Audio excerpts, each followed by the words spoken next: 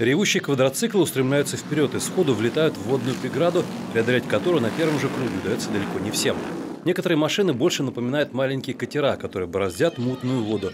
Брызги летят на многие метры вокруг, заливая гонщиков потоками грязи, но им такая забава только в радость.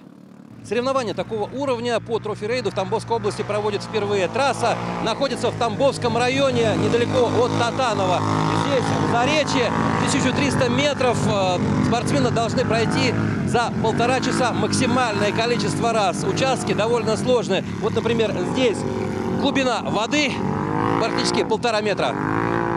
Возле границ трассы собрались болельщики, которые поддерживали свои команды. Увидеть такое шоу на природе теплым майским днем – настоящий подарок, за которым некоторым не лень было ехать за несколько тысяч километров от дома. У нас собрались сильнейшие спортсмены, география очень широкая. Это Волгоград, Москва, Санкт-Петербург, Нижний Новгород. А, собственно, цель, задача какая? Дали старт общий. Сейчас ребята в течение полутора часов будут наматывать круги в труднодоступных местах. Далеко не все спортсмены смогли откатать положенные полтора часа. Техника попросту начала давать сбои. Но на настроении гонщиков это никак не сказывалось. Многие из них бывают на трофи-рейдах в нашем регионе каждый год. Тамбов это для нас вообще, я считаю, что это родина квадродвижения. Почему? Потому что еще и я первые соревнования начал проходить их здесь. Здесь шикарная местность, отличные организаторы, всегда все на высшем уровне.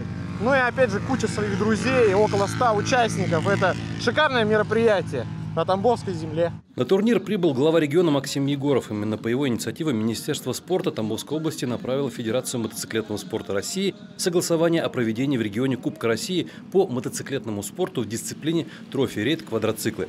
В итоге соревнования официально включены в единый календарный план Министерства спорта России на 2023 год с местом проведения в Тамбовской области. Более 20 субъектов Российской Федерации, более 100 участников. И, конечно же, все подчеркивают, что высокий уровень организации. Э, здесь, конечно, большое спасибо э, нашим тамбовчанам, кто неравнодушен э, к такому виду спорта, к нашему Министерству спорта и, конечно, всем, кто пришел сюда поболеть и приехал из других регионов турнире разыгрывались награды в нескольких номинациях «Спорт», «Открытый», «Экстрем» и «Любители». Победителям и лауреатам, среди которых была и тамбовская команда, достались кубки и призы в виде фигурок тамбовского «Волка». Ну а Максим Егоров отметил, сейчас идут переговоры с организаторами о ежегодном проведении на Тамбовщине этапка Кубка России по троферейдам на квадроциклах. Дмитрий Шапкин, Евгений Михеев, Евгений Мещеряков. Область новостей.